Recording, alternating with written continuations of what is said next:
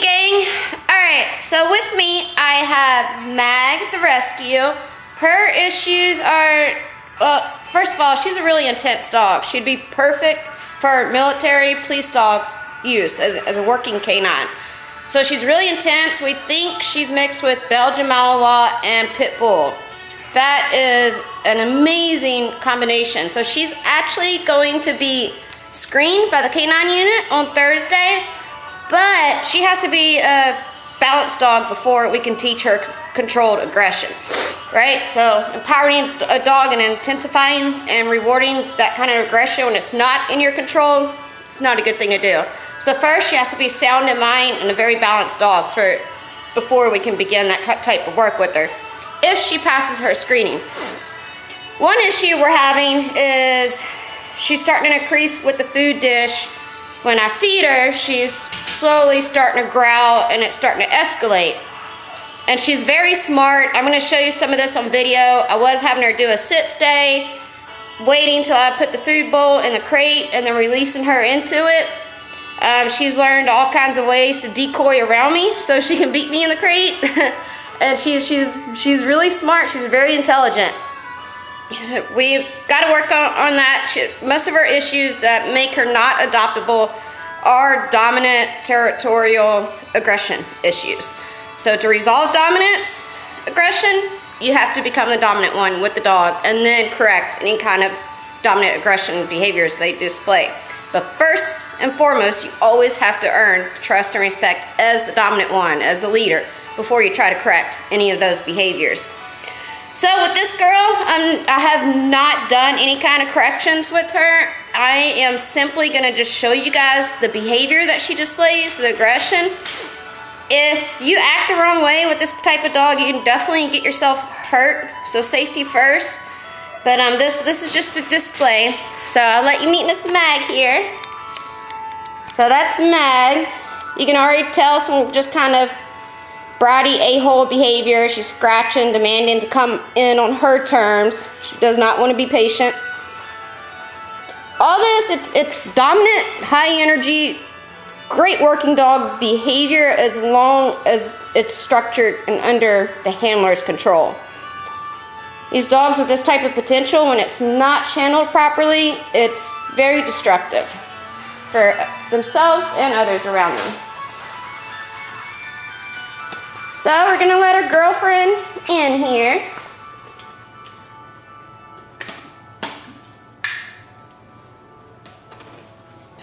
And I will show you exactly what's going on.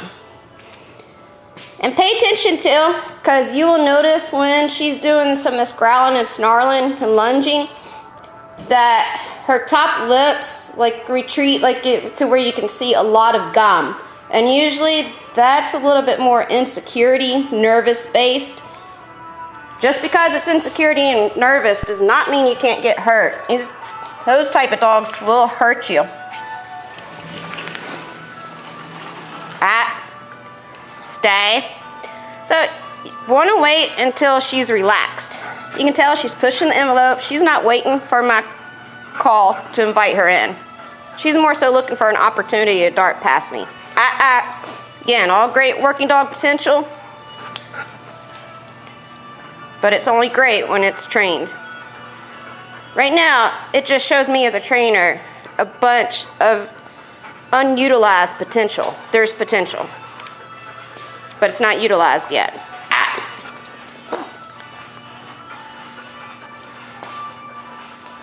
Shh.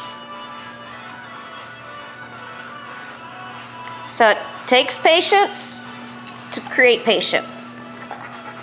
Takes patience to create patience. If you're not patient, your dog's not going to be patient.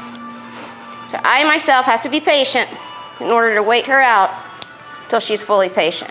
So you see, she almost jumped up on that, that little bed there, just looking for an alternate route to beat me, decoy around me. Shh.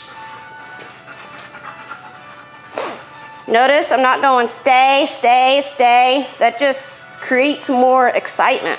It gets my nerves unraveled. Stay, stay, stay. You don't want to do that. Silence. Silence is power.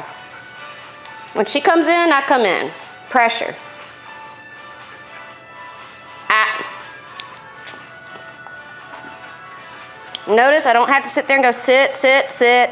She does it automatically. All you need is just patience. That's all you have to do.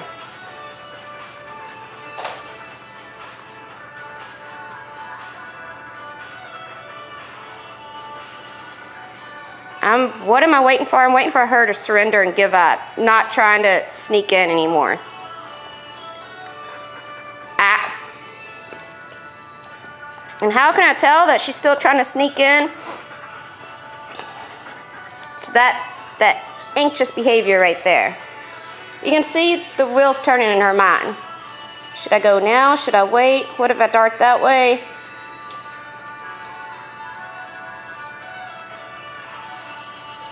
Want the whole enchilada. That's good. Okay.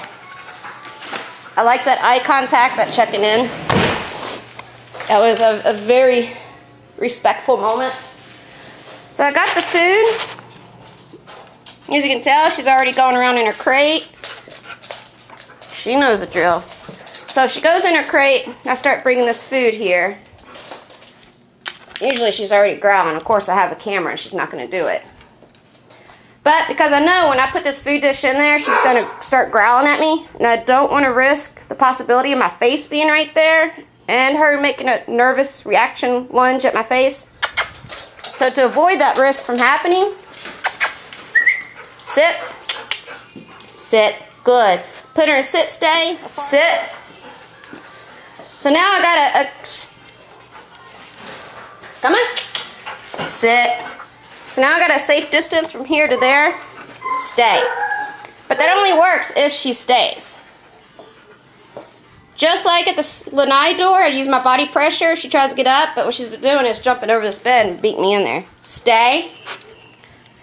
Ah, ah, ah. Sit. Good. Ah, ah. Sit.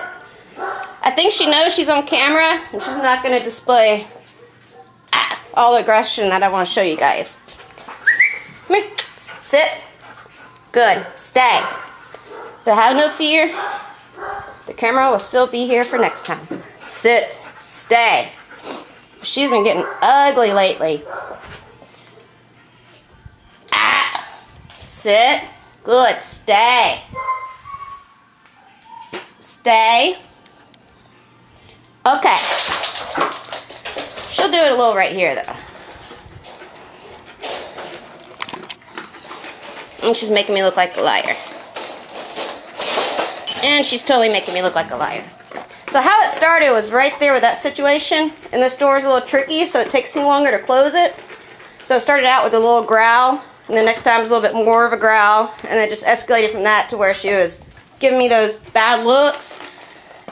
See, that right there. That pausing and the eye glare. I think it's the power of the camera right now. Something about the camera is changing her state of mind. New training tool. Dogs have, apparently, they, they have stage fear too. Camera shy. That's it. She must be camera shy. Yeah, because she's doing excellent. Something about this camera itself is changing her. You can see that little pause in there, and that's how it first started. And it escalated more and more to where she's like actually lunging when I'm trying to close this door when she has food in there. So, how to resolve that? Again, first, you gotta earn her trust and respect as leader, and then start correcting those nasty behaviors. Right at the get-go. You don't want to correct it when she's full-blown engaged in it, and lunging. You want to correct it right at the thought.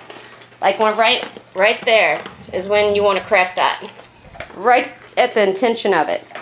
And that way you can correct low and knock it out without having to go to a high correction. And the best tool to use for this is an e-collar.